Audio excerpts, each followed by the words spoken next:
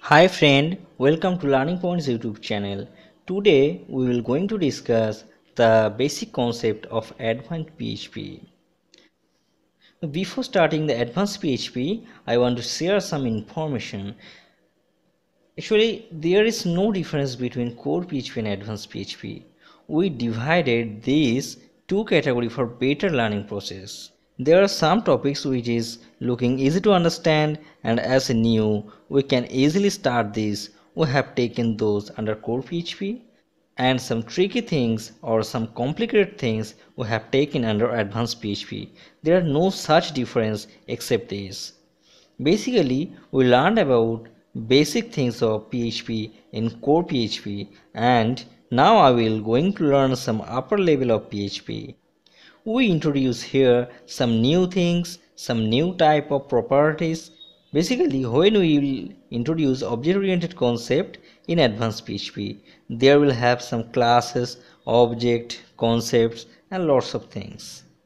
Before learning advanced php we should know what is application of advanced php so so where to use advanced php we can create very small to very large e-commerce business website.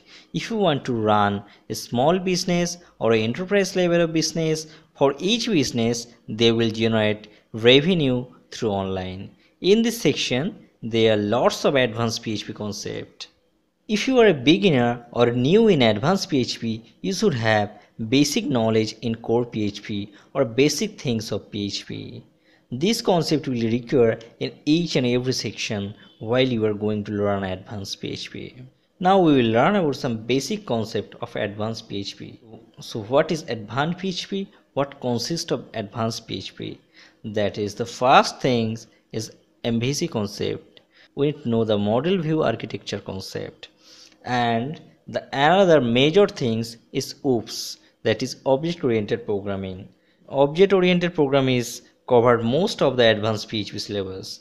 In OOPS, there is class, object, variable, functions and lots of these. Other than that, there are some extraordinary features that is inheritance, polymorphism, overloading, data abstraction, encapsulation, constructor, destructor.